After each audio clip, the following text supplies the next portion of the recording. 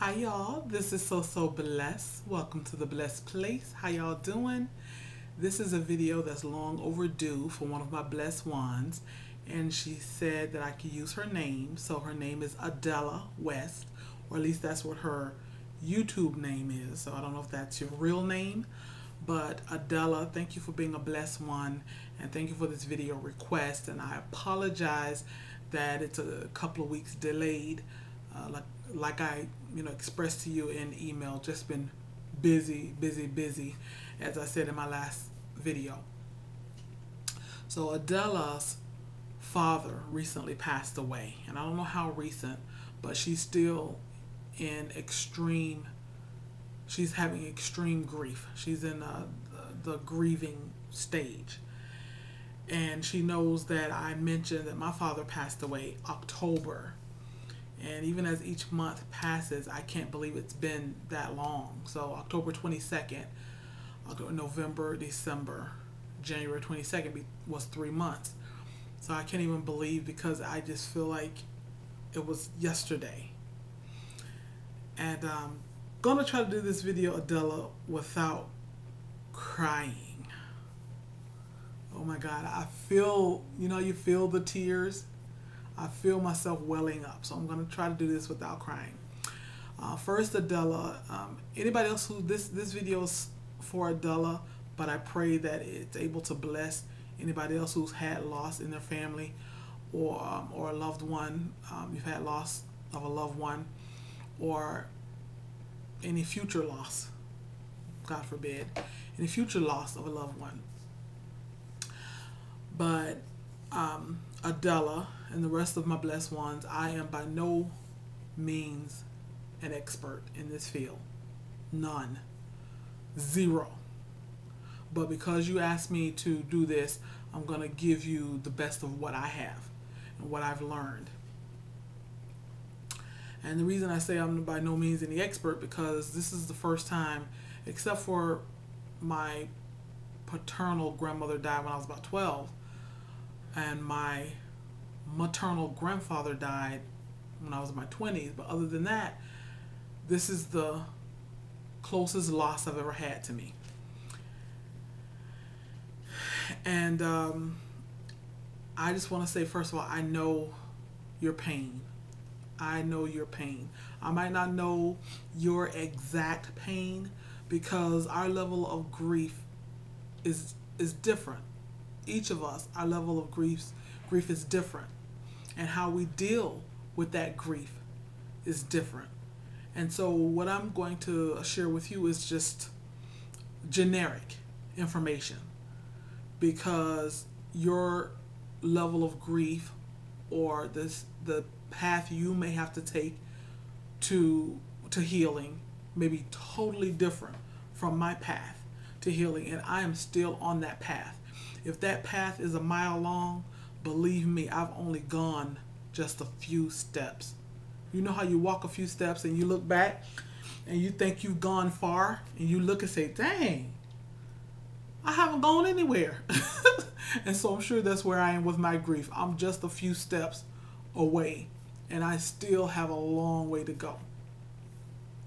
So, what first of all I want to share is that don't let anybody tell you how to grieve. Because it might seem kind of ironic with me doing this video telling you how to grieve. but that's not my intention, it's to tell you how to grieve. It's just to share some information with you.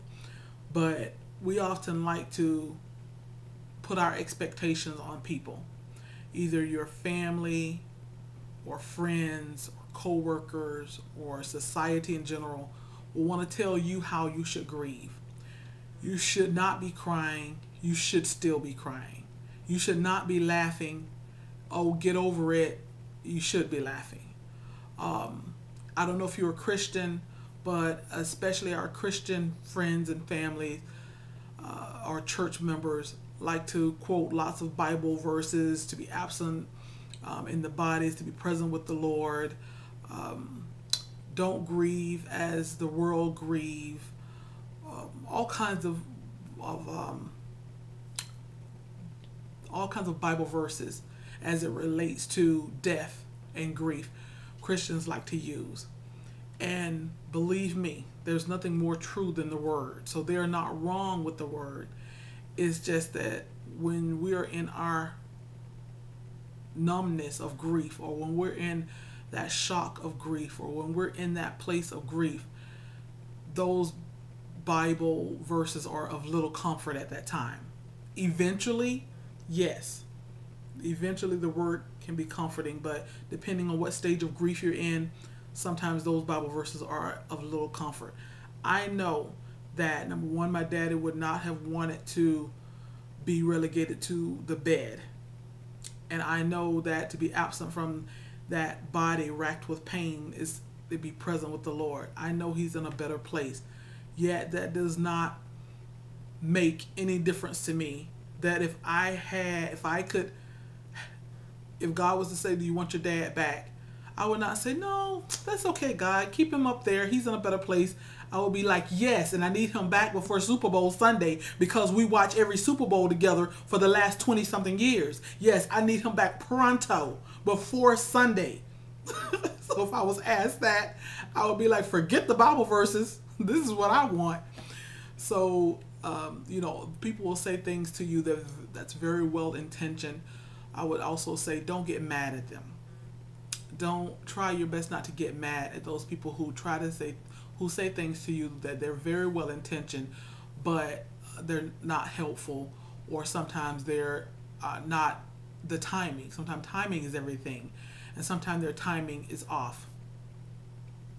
You know people can just hold your hand. They can just sit in with you they can just cry with you they can hug hug you they don't have to you know say all of those things that they think is comforting, but not. But if they do, if somebody does, just know that their heart is with you and to comfort you. I would also say, I don't know what kind of memories you had with your dad, but I would imagine there had to be some good memories if you're in this grieving stage, because I feel like otherwise you wouldn't be in this place of extreme grief if you were not, um, if you didn't have good memories. I would say think on those good memories. Like I say, Super Bowl is coming up. I would say probably the last 20 years of Super Bowls we've spent with my dad at my dad's house um, watching the Super Bowl. I might even upload one of the videos, put a link when um, his team didn't win, put it that way, and we were making fun of him. and it was one of the first times that I saw my dad really mad at us because we were joking about his team losing. We were like, who that? Who that? and he was pissed. But that is such an awesome memory that I have of my dad. So I just shared that to say to you, if you have great memories, think on those things. Is that you know, there's one of the Bible verses that say, um, those things which are lovely, those things which are good, those things which are kind.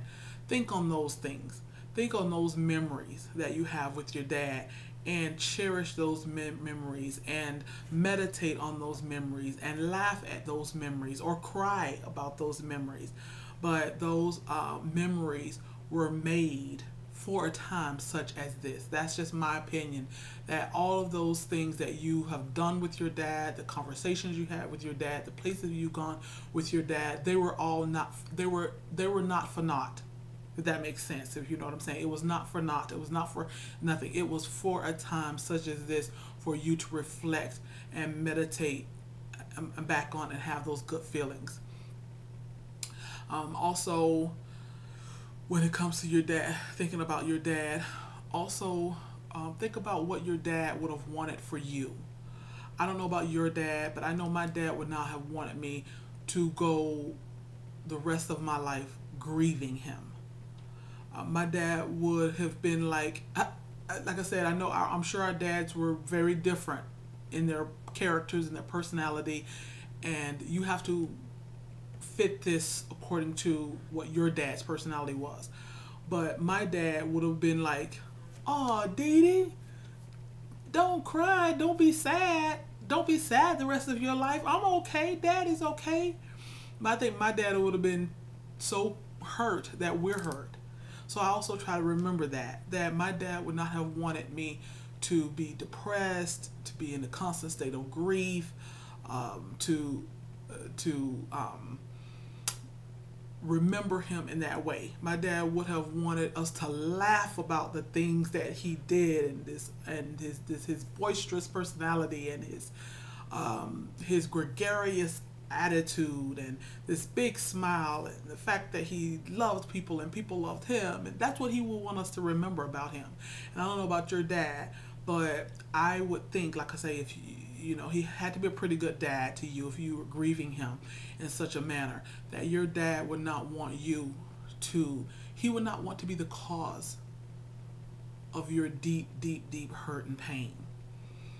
And I know myself as a mom and a mom of an only daughter, if I, when I, when I pass away, and I pray to God I pass away before my daughter, that should be the natural progression of things but when I pass away, I know my daughter's going to grieve. We're very, very close. But I don't want to be the cause of lifelong constant grief in her life. You know what I mean? I want her to have your little, you know, few weeks, few months, whatever it takes of grief. And then just remember the good times. Remember, uh, laugh about, you know, the things we did and what I said. And, um, and I don't want to be the cause of her grief. And I say that to say that I know my dad doesn't want to be the cause of me having a deep depression or grief. And I don't know your dad, but I can, I feel comfortable and confident enough to say that I'm sure your dad would not want to be the source and the cause of deep depression or grief in your life. But I would think he would rather want to be the source of great memories, the great the source of great joy in your life. Also, Adela, if you need help, sometimes we're going through such a deep, deep, dark place when it comes to loss that sometimes we need help. We get sometimes we might need help from um, our church pastor or assistant pastor, if your church has a counts counselors, or um, and and you have to make sure that they are that they are um, what do I want to say? That they can minister to your problem because just because someone is a pastor doesn't mean that they can always minister to your specific problem when it comes to grief or that they can address that particular issue. So you want to make sure that if it is someone in your church that they can specifically address that type of issue when it comes to grief or or if you have some type of um, therapy or something you can get in through your your health insurance uh, but some kind of way see if you can find some help if it gets to that point where you think that's where you need it. Me particular um, unless i'm in some type of denial which i don't think i am i i don't need therapy. Uh, you know maybe i have three sisters and we get together and we talk and we cry and we laugh and that's my therapy. You know i have my husband uh, who's lost, and that's been a great help too because my husband lost his parents years ago. I think his mom maybe 10 years ago and his father maybe 14 years ago. So that's a great source of support. So you have to get support. You have to get support either, and seemed like to me, you said in your email that I didn't quite understand if you had the support or you didn't. It seemed to me that you didn't have the support in your household, that you wouldn't would want or would need. So if you don't have the support in your household, look for support outside of your household through your church, uh, through your job, uh, through your friends, associates, um, online. I'm sure there are type there there's all kinds of groups. You know, just like there is AA, um, just like there's Overeaters Anonymous. You know, I'm sure there are, there are groups specifically for grief, and you can always find that online. Um, so having a great support system, I believe, is key, and which is probably why, which I'm sure, you know, God and having a great support system is why I don't need therapy. Adela, whatever you do, don't go through this alone. Don't hold it all in. Whatever it is that you're feeling, don't hold all your feelings in because one day it's going to come out. One day your grief is going to manifest itself in a way that you don't understand what's going on. And you might have to think back. It could be months later, years later, and you might have to trace the manifestation of that grief you may have to trace that back to the loss of your father. You may be in a marriage and wondering why are you acting like this or that, why are you treating your husband like this or that. Um, you could just have a breakdown, mental breakdown one day and want to know why, why are you crying all the time? Why are you in such a dark place? And it may be because you have stuffed down those those feelings. You have not dealt with grief. You have not gone through the grieving process. Um, there and there is a process, you know. And I can't remember all the, you know. You can always look it up online, but there's something like anger and denial, and um, I don't know. There are about five stages. I know there are five stages. Uh, I think it's Kubler Ross. Can't remember the lady's first name, but her last name is Kubler Ross and she kind of coined these five stages of, of uh, grief. And you can always look that up. K U B L E R dash Ross, R O S S, Kubler Ross. And you could, you know, look that up because the different stages of grief. And and it talks about how what's going on with you in these different stages. And if you don't deal with the grief now, it will manifest itself later some kind of way. Eating disorder, um, anger issues, um, depression, etc. So you want to be able to deal with this now, which I know that's what you're doing because that's why you asked me about doing a video. But lastly, I want to say that I appreciate you asking me about this to do this video. I appreciate your trust in my advice, but I also want to say this that just watching this video, if it's not enough for you, make sure you get help. You don't want to just depend on this video. If this video blesses you, helps to heal you, that is awesome. But if you haven't been able to deal with your grief, get healing